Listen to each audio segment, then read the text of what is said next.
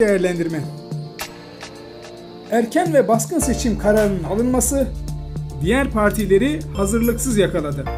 O hal koşullarında seçimin yapılması elbette tartışmalı.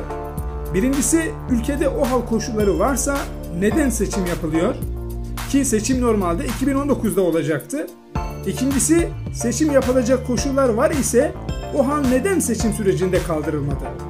HDP Genel Başkanı'nın ve milletvekillerinin cezaevinde olması bu partinin seçim çalışmalarını olumsuz etkiledi.